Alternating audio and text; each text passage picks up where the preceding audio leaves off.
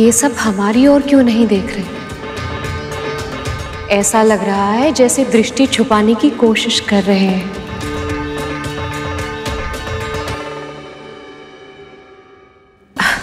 नहीं नहीं, ये तो भ्रम होगा मेरा।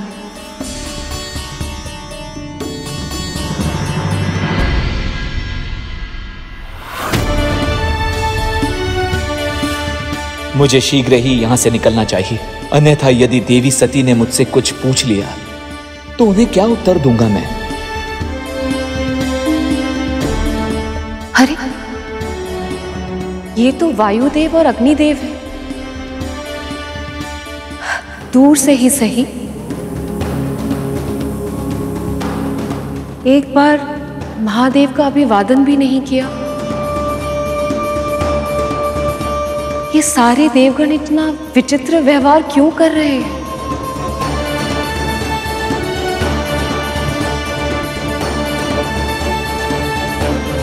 ये मार्ग तो मेरी मायके की ओर जाता है। क्या ये सब वहीं जा रहे हैं? पर क्यों?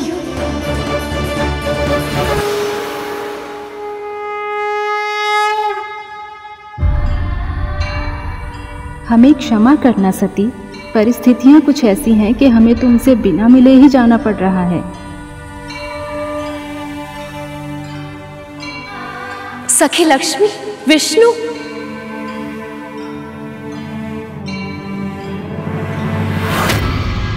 नारायण नारायण। देवर्षि नारद प्रणाम।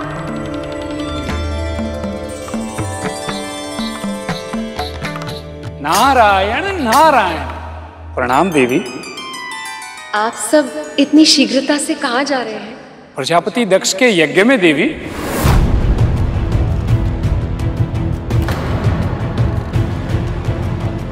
पिताजी ने यज्ञ रखा है? तो क्या आपको और महादेव को उन्होंने आमंत्रित नहीं किया है? नारायण नारायण। अपनी पुत्री और दामाद को ही भूल गए पिताजी। नारद जी, अपनी पुत्री को बुलाने के लिए पिता को आमंत्रण देने की क्या आवश्यकता है भला देवर्षि? बल्कि वो तो ये सोच रहे होंगे कि मैं अब तक वहाँ पहुँची क्यों नहीं? कितने सारे कार्य होंगे। माँ सब कुछ अकेले संभाल रही होगी।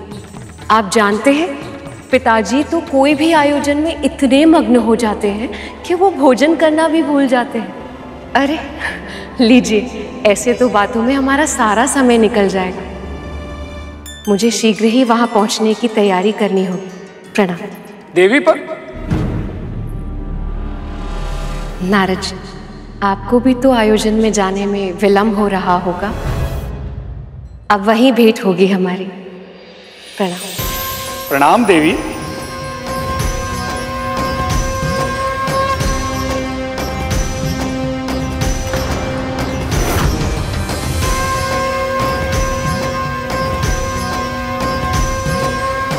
नारायण नारायण।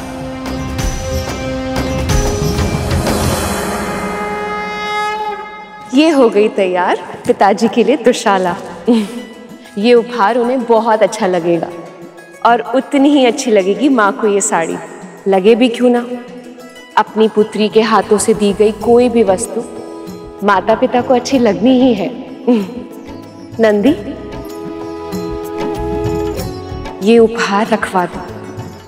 जब तक पूरा आयोजन समाप्त नहीं होता, मैं वहीं रहूँगी। और इसीलिए अब तुम्हें यहाँ का ध्यान रखना होगा। आपकी आज्ञा का पालन होगा माँ।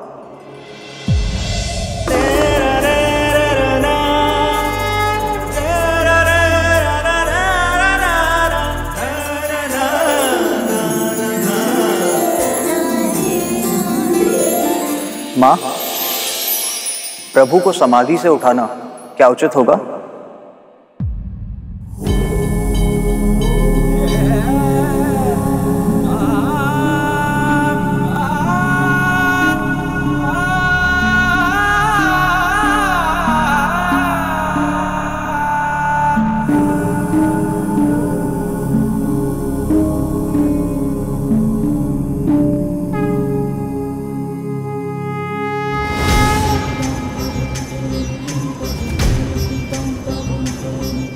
जा रही हैं देवी वो देखिए प्रभु।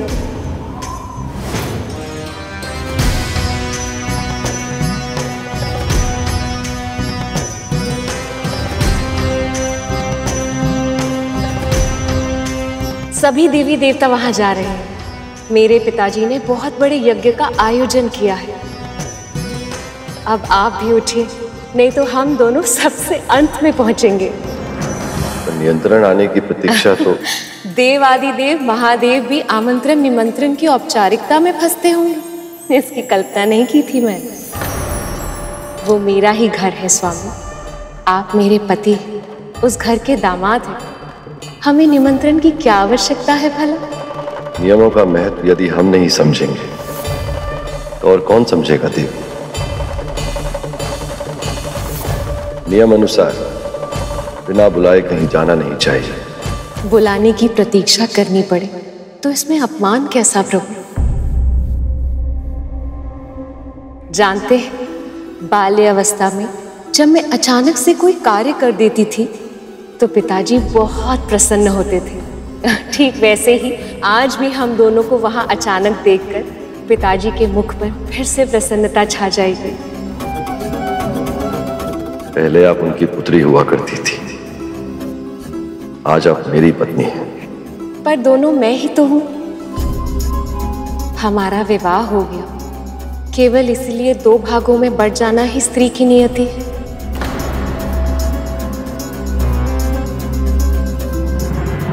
यदि निमंत्रण आता तो मैं आपको जाने से कदापि नहीं रोकता। पर बुलावा आए बिना जाने का निर्णय मेरी दृष्टि में उचित नहीं है देवी।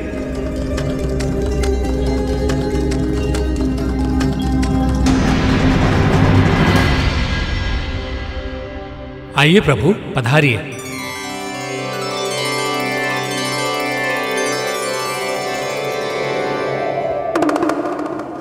ठीक है। आपको औपचारिक व्यवहार करना है तो आप अवश्य कीजिए। पर मैं अपने ही माता पिता के साथ औपचारिक नहीं बन सकती। वैसे भी महादेव, आप तो सदैव स्थिर रहते हैं। भ्रमण करने के लिए भी आपको कितनी मुनहार करनी पड़ती है। इसीलिए मैं आपके साथ जाने के लिए हट नहीं करूँगी। आप मुझे भी मत रोकिए।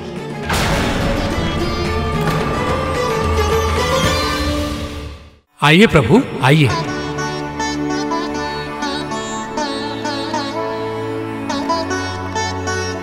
नारायण नारायण।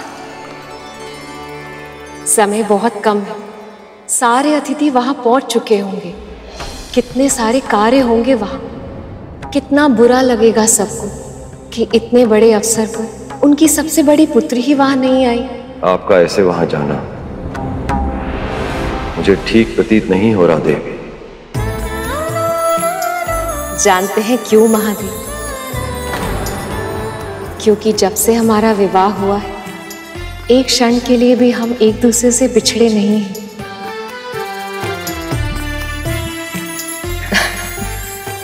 पर मैं सदा के लिए थोड़ी ना जा रही हूँ मेरे भोले बाबा। यज्ञ समाप्त होते ही वापस लौट आऊँगी। आप समझ नहीं रही हैं देवी। निमंत्रण के बिना कहीं जाना अनिष्ट होता है।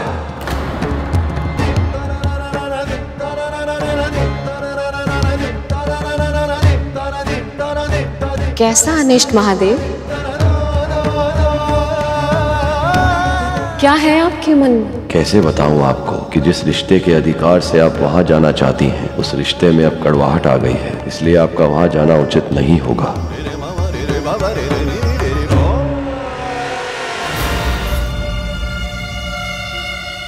भावनाओं को शब्दों में बांधना कठिन होता है। ऐसा कुछ है जो मुझे खटक रहा है। आप व्यर्थ ही चिंतित हो रहे हैं। मैं अपने पिता के महल जा रही हूँ। किसी दुष्ट राक्षस से युद्ध करने उसकी गुफा में नहीं। वो मेरा घर है स्वामी। वहाँ मेरा अनिष्ट कैसे हो सकता है भला? बस मेरे लौटने की प्रतीक्षा कीजिए। और उससे भी उत्तम है। आपको निमंत्रण की आवश्यकता है। इसीलिए मैं आपको अभी से निमंत्रण दे रही हूँ। यज्ञ समाप्त होते ही आप मुझे लेने आ जाइए। आएँगे ना? कितना समय हो गया है। अपने पिताजी, माँ को, बहनों को नहीं देखा मैं। पिताजी से तो विदाई में भी नहीं मिल पाई थी। जाने दीजिए ना महादेव, मेरे लिए।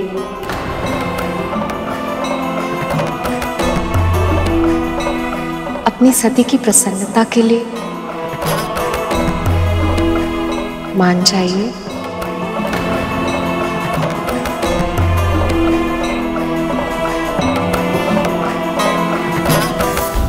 नंदी को अपने साथ लेते जाइए